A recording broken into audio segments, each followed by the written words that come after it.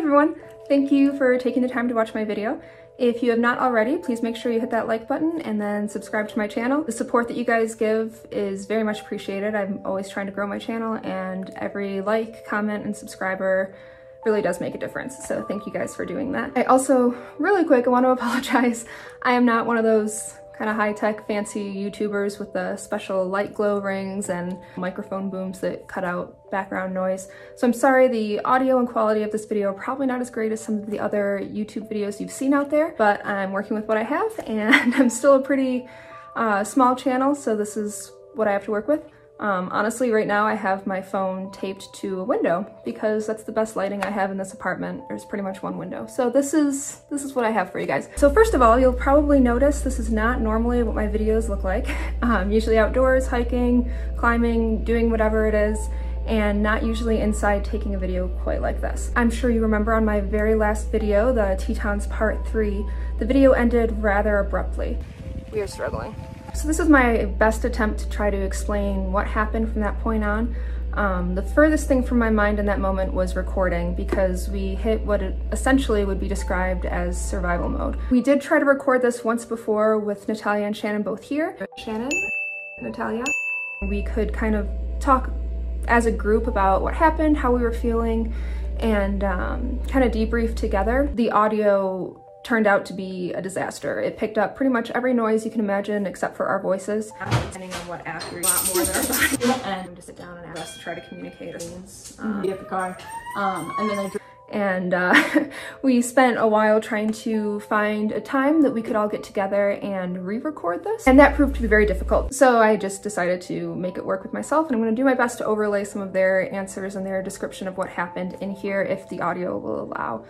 Um, so yeah, again, thank you guys for taking the time to watch. I'm going to explain to you guys exactly what happened from the moment you guys saw at the end of Tetons 3 until the moment uh, Natalia and I got all the way off of the trail to the car to meet Shannon. So, here's what happened.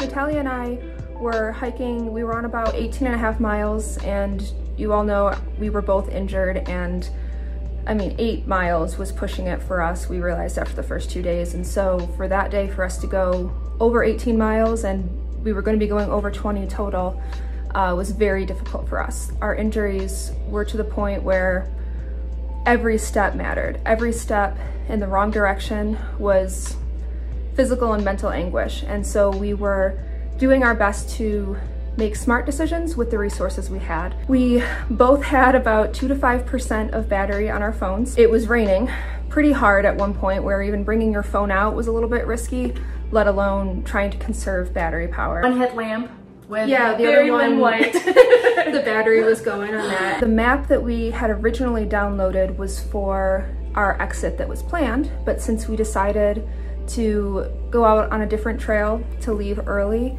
we did not have that section downloaded. So if you tried to zoom in at all, you could not see what was going on on the trail. Because of that, when we got near the end, when we were in the last one to two miles, the trail was difficult because of how many areas it broke off in.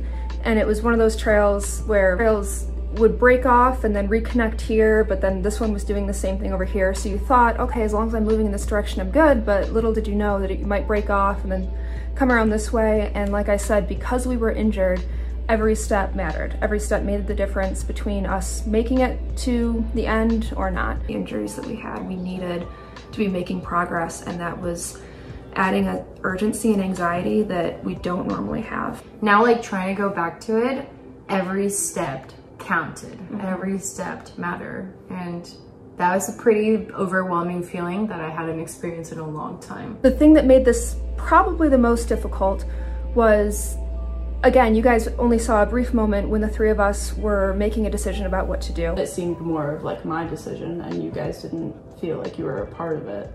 And I feel shit about that. I feel like I definitely wasn't very vocal during that interaction. I think I was just focusing on like my own struggles. So I definitely like did not intervene and I did not share, I just didn't share my opinion. I think it doesn't lie specifically on you or anyone. It was just... Poses a different challenge to have to put someone else's wants, needs, thoughts sometimes ahead of you, but at least alongside of your own um, when making decisions about what to do. And difficult and something I think I was able to practice and get better at and learn ways that I was not good at it. The decision we ended up making was that because Shannon was not injured and we had to get to our car, which was way at the beginning where we first started hiking 40 miles earlier, Shannon was going to hike ahead at a normal pace because she was not injured. I don't even remember a lot because I'm just like, gotta get to the car. And she went to go get the car so that she could meet us at the end by the time we would finish the trail. I just wanted to get to the car so that I could come pick these guys up and for them to not have to like worry about um, hitchhiking and whatever. Which in theory seems like a pretty good idea. The issue was that we did not have service being on this trail. I don't even remember how long it was from when you last contacted me to when you got to the car. And so although Natalia and I both reached a point where for our bodies it made sense to stop and set up camp in the dark and hike out the next day. We did not have service to be able to communicate that to Shannon. There were moments where we thought like she would just set here and like build a tent and just stay here. We did want to set up at times and I think again if one thing had been different we would have handled it differently. If Shannon had not been at the end for us we probably would have set up camp miles earlier but mm -hmm. without service to tell her that's what we were going to do all she would have thought is we're lost, we're not making it. She would have been waiting for us all night long, driving around, searching for us, getting on the trail, trying to find us. I was trying to text you guys and it wasn't going through. Um, and yeah, it started getting dark and I, I drove around everywhere because I thought maybe you guys were like on the road, didn't have service, your phone's dead. And I was like, I'm just gonna drive around and see if I see them. And then mm -hmm. I'm just gonna, gonna go to the campsite, I'm gonna go to the trailhead and just like yeah, I got really anxious. So she would have been in a position where she made it to the end of the trail, had no idea where we were, probably would have started to worry, you know, when it hit midnight, 2 a.m., 4 a.m., she probably would have been coming back and searching for us. Yeah, I was really nervous that, I don't know, something terrible had happened and at that point, I was like pretty close to being like, I need to go out there and find them. That would have created issues, again, because we had no idea where exactly we were on the trail. So it, uh, it kind of felt like the perfect storm of everything that could have caused an issue did. So we would try to kind of zoom in on the map, struggled with that, did the best we could. Um, at one point we ended up on this little peninsula, which posed its own issue because we would make it to the coast of this lake and we knew, okay, that the lake needs to be on the left side of us. As long as we go back this way, we'll make it. And since we didn't know we were on a peninsula because we couldn't zoom in that far on the map, we would start to go that way and hit water and we thought, okay, it's, you know, it's still on the left of us. We must have been wrong. We would come back and it was like this little circle that we did. we 30 minutes? At least 30 minutes on that peninsula. The only place we didn't need to go and that's where we went. Mm -hmm. in the absolute pitch black, in this rain that, um, it made it hard for us to hear each other when we were right next to each other because the rain was so heavy. Another piece that kind of added to the mental strain of this hike um, was that we would occasionally, especially in the last mile to two, hit this sign. We could see the back of it and we thought, great, that must either be pointing us in the direction, that must tell us what trail we're on, that must tell us where the end is, one of those things. And then we would approach the sign and it would just be a great reminder for us that there are bears in the area that want to eat us and we need to be careful. Um, so that wasn't ideal. Um, it made it so that we wanted to continue to make noise because that's always one of the better things. You don't want to startle a bear. So we were trying to make noise, but neither of us were in a mental state to want to continue to do that. We kind of made this deal and I was like, okay, the first thing is tell me a funny story. And both of us would be like, uh, and like maybe after 20 minutes of the game, we realized in the game, it was like, I no longer want to play this game. This is yeah. no longer fun. we both were at a point where we just wanted to shut down. Um, it made it very difficult. But after what felt like forever, I mean, we started hiking at around 7 a.m. that day.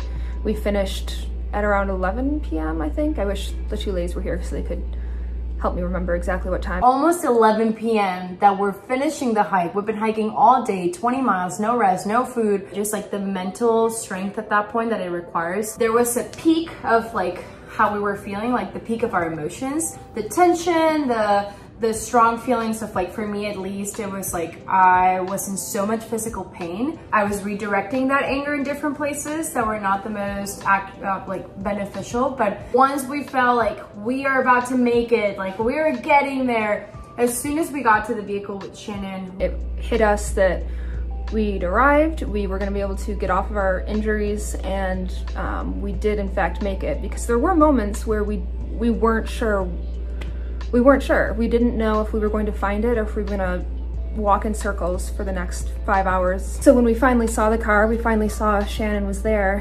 um, we both just broke down. It kind of felt like we were holding it in, trying to just make it through and the second you realize you've made it, it um, just kind of came out. We turned around and that was like a pretty special moment for me of just like we saw each other, we took a deep breath and we just started crying. I was like, I need to cry right now. Yeah. And we just started crying, like hugging each other. And Cried for a little while, finally got in the car and we just sat in the car for probably five minutes before Shannon even asked like, hey, where do where should we drive? Are we are we leaving?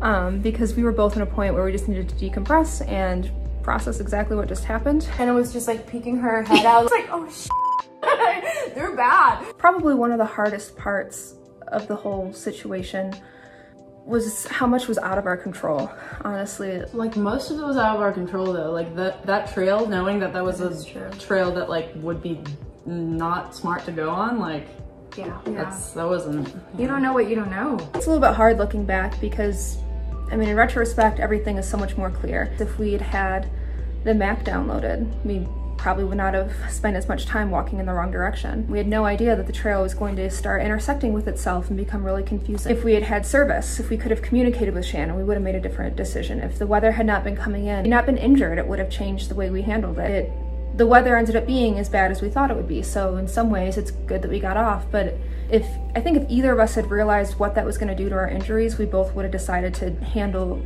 the weather rather than um, prioritize getting off the trail. The next two days I couldn't even put pressure on my foot. It kind of felt like I did after I got off of, where was I? I think it was in the Wind River Range um, when my first injury with my foot kind of started.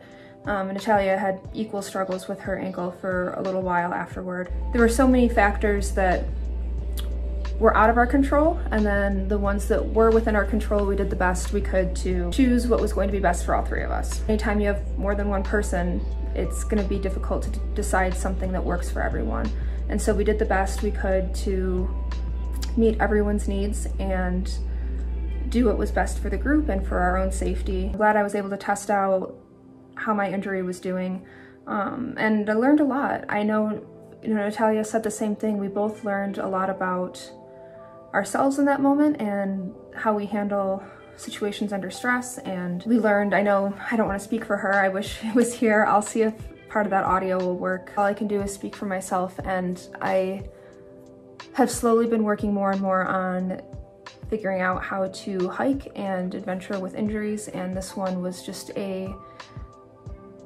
eye-opening experience for myself to realize the ways I can prioritize my health and my own safety and pushing for what I need, um, even if it's the unpopular opinion. And I think Natalia had said the same thing for her. She wished she had spoken up a bit more about the decision that we made. There was um, a time where I knew that my, my injuries were a little bit bigger than I wanted to express. Having injuries in the outdoors for me with a big history of it is very humbling in many ways, but it's also very frustrating. I should have advocated for those things more and my pride was just so big and like I didn't want to seem weak. I didn't want to stop pushing. I wanted to be resilient. I wanted to be tough. And I was all of that, but I could have also been the same way, the same characteristics, even while vocalizing my injuries. Learning how to listen to my body and take care of it and advocate for my body because I'm the only one that can. Communication, I think, would have I would have tried to enhance.